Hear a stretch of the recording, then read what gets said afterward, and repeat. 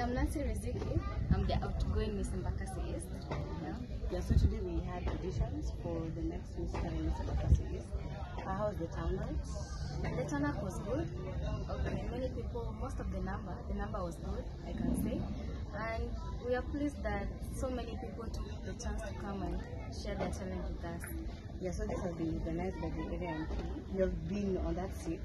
So what are some of the benefits you've, you've got from?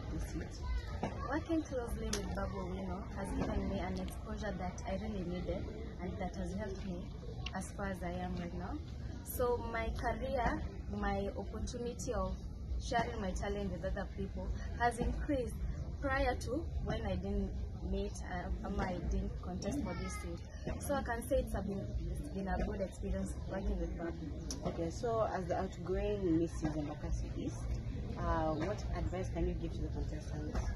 all of us are winners and we are all queens and kings so but there must be a one there must be one crown and the other crown to the mr and miss so what advice to the other people if you don't get the chance keep on trying keep on working hard push harder and you're going to get there Okay, thank you so much. Thank you.